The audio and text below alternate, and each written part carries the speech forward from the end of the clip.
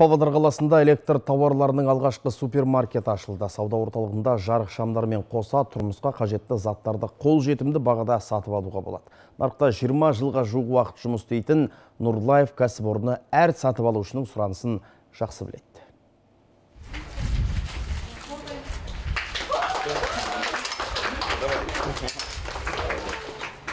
Электромаркет дүкенінде таңдау көп. Қаламыздың кіші шағын айналма жолы ауданында орын тепкен сауда орталығында тауар қолжетімді бағада сатылады. Энергия үнемдейтін шамдар 400 теңгеден бастап саудаланады. Әр алған затыңызға кепілдік беріледі. Жылытатын электрқұралдар, есептегіштер, электроконтакторлар және жарық шамдардың түр-түрі бар. Компания Түркия, Ресей, Қытай елдерімен жұмыс жасайды. Оның енді бағыты мұнда тек осы үйде де мынау қандай өндірісте де болсын қолданатын осында заттар сатылады. Бәрі осыда олар біздің өмірімізде де барлық жерде керек нәрсе.